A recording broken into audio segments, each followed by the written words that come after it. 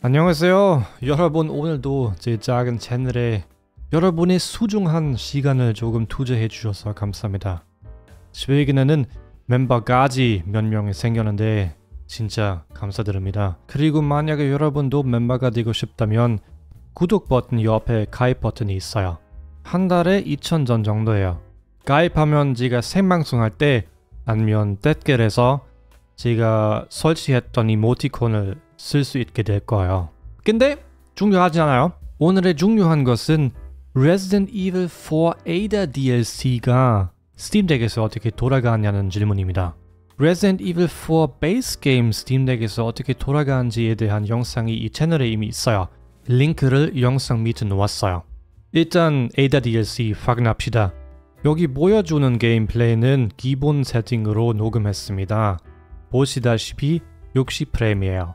게임 영상 안전적인 60프레임으로 돌아가고 좁은 환경에도 60프레임이 안전적이에요. 하지만 그거 유지하지 못합니다. Resident Evil 4 베이스 게임처럼요. 나가서 환경이 더 넓은 상황에는 그 frame rate가 완전 떨어져요. 한 35프레임까지 떨어지는 순간이 있었어요. 지금 기본 세팅으로는 게임 FSR2 속성 preset으로 돌아가요. 울트라 속성으로도 그 frame rate를 올라가는 것이 아니에요. 다만 그 해상도 완전 떨어졌어요. 안타깝게도 Resident Evil 4 Ada DLC 60프레임은 안전적진 않아요. 그래서 60프레임 안전적지 않으면 우리 다른 frame rate 찾아야 돼요. 40프레임도 괜찮아요. 30프레임보다 훨씬 더 좋아 느껴요.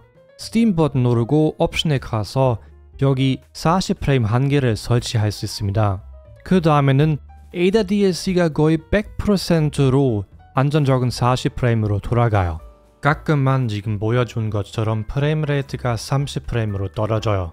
예를 들어서 이런 큰 폭발이 있을 때요. 근데 큰 이슈라고 생각한 것이 아닙니다. 결론적으로 말하자면 Resident Evil 4 Ada DLC가 Resident Evil 4 베이스 게임처럼 스팀덱에서 잘 돌아간 것 같아요. 60프레임 아닌 것이 좀 아쉽긴 하지만 40프레임으로도 게임하기가 괜찮아요. 여러분들이 어떻게 생각하세요? 댓글에 알려주세요. 다음에 봐요. 바이바이.